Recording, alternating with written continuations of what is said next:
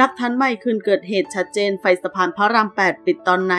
ย้อนแย้งกับกระติก วันที่ 3 มีนาคมความคืบหน้าล่าสุดปมการเสียชีวิตของแตงโมนิดา หลังจากที่เมื่อวานนี้พลตำรวจโทจิรพันธ์ ภูมิจิตพบชภูทรหนึ่งเปิดเผยว่าตอนนี้ไม่มีคนบนเรือกลับคำให้การ หรือรับสารภาพตามที่มีกระแสข่าวลืออย่างหนักตลอดทั้งวันนี้ย้ำทั้ง 5 คนบนเรือ ไม่มีใครกลับคำให้การล่าสุดในทวิตเตอร์ชาวเน็ตได้เผยหลักฐานใหม่ วันเกิดเหตุไฟสะพานพระราม 8 ปิดตั้งแต่ 3 ทุ่ม จับโป๊ะภาพถ่ายคู่กับแตงโมในมือถือของกระติก โดยทวิตเตอร์ทารินยา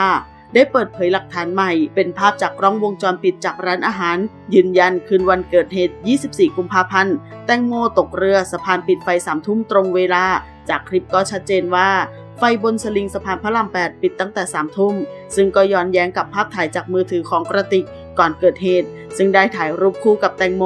ในเวลา 21นาฬิกา56 นาที ไฟบนสะพานยังเปิดสว่าง ส่วนอีกรูปกระติกอ้างว่าเป็นภาพถ่ายสุดท้ายของแตงโม พลัดตกเรือ โดยแตงโมเป็นคนถ่ายรูปเดี่ยวให้กระติก ในเวลา 22นาฬิกา13 นาที นอกจากนี้ทวิตเตอร์ b at boom bms ยังได้มีอีกหลายหลักฐานตอกย้ำชัดเจนว่าไฟสะพานพระราม 8 ปิดตอนเวลา 21นาฬิกาอันนี้มาจากกล้องหน้ารถเรานะคะ เราขับรถบนสะพานพระราม 8 ตอนเวลา 22นาฬิกา5นาที วันที่ 24 กุมภาพันธ์ จากมุมที่เราขับรถไปบนสะพานมันมืดนะคะ เวลาใกล้เคียงกับรูปที่ถ่ายบนเรือเลยค่ะ ซึ่งหลังจากหลักฐานทั้งหมดที่กล่าวมา ก็ทำให้ประเด็นการปรับเปลี่ยนเวลาถ่ายภาพในมือถือ iPhone นั้น มีน้ำหนักมากยิ่งขึ้น เพราะหลังจากเวลา 21 นาฬิกาเป็นต้นไป